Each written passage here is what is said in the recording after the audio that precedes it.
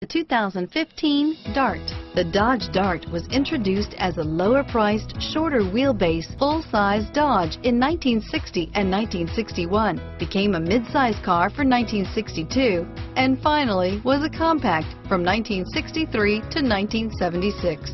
Chrysler had previously applied the Dart name to a Ghia-built show car in 1956 and is priced below $25,000. Here are some of this vehicle's great options stability control, traction control, steering wheel, audio controls, anti-lock braking system, air conditioning, power steering, adjustable steering wheel, driver airbag, cruise control, keyless entry, aluminum wheels, floor mats, four-wheel disc brakes, rear defrost, AM FM stereo radio, FWD, CD player, MP3 player, child safety locks, passenger airbag. Your new ride is just a phone call away.